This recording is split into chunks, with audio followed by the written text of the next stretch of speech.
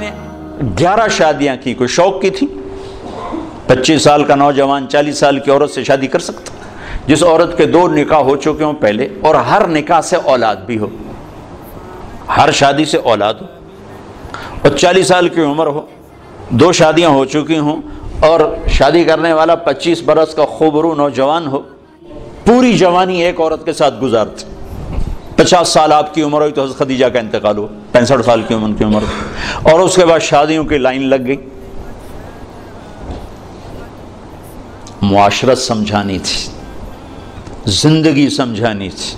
आपने फरमाया, मा जवज तो वमा तजवज तो बेवाहिन मिनसमा अता बिही जिब्राइल। कहा, मैंने किसी बेटी की शादी नहीं की। और कोई शादी नहीं की जब तक कि ऊपर से हुक्म नहीं आया। और जबरील लेकर आया। फिर आपने फरमाया अहलल जन्ना। मैंने किसी औरत से शादी की हो, मैंने अपनी बेटी की किसी से शादी की हो, सब के लिए मेरे अल्लाह का फरमान है कि सब जन्नती हैं। तो 25 साल की उम्र में 40 साल की औरत से शादी का क्या तुक बनता है? और हुसन ऐसा कि देखने वाले आँख न भरे। ऐसा मायशा कपड़ा सी रही थी, सुई गिर गई। तो वो कमरे में ऐसी रोशनी नहीं कि उनको सुई नज़र आए तो वो ऐसे ऐसे टटोल रही थी। इतने में आप कमरे में दाखिल हो तो आपके चेहरे के नूर से सुई चमकने लगी। अक्स पड़ता है ना? तो जो ऐसी हस्ती हो, वो तो 25 साल का है तो कोई 20 साल की लड़की तलाश करे अपने लिए। चालीस साल।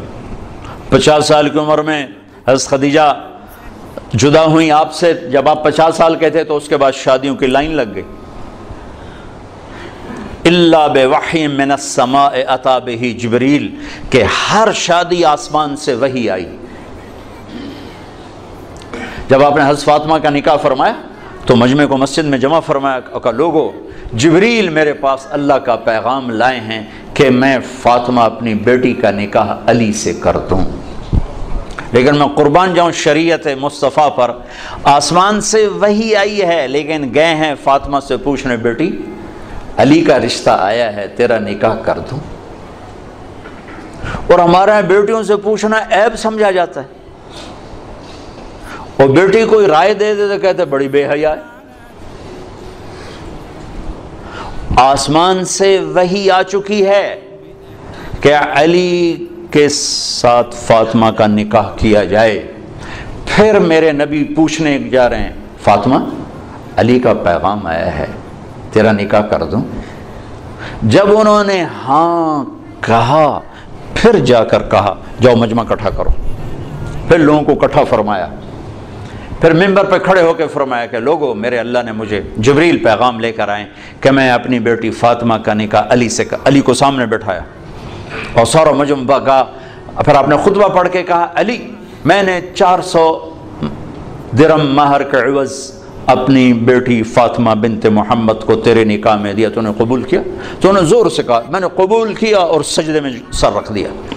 और ज़ोर से ये दुआ पढ़ी रब अवजैनी अन अशकर नमतकल्लती अनम तलिया वाला वालदैया। इस पर आपने कहा, आमीन। फिर आपने सारे मस्जिद में के हाजरीन को शहद का शरबत पिलाया, खजूर खिलाया।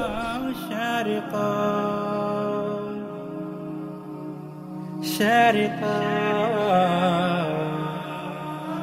शरता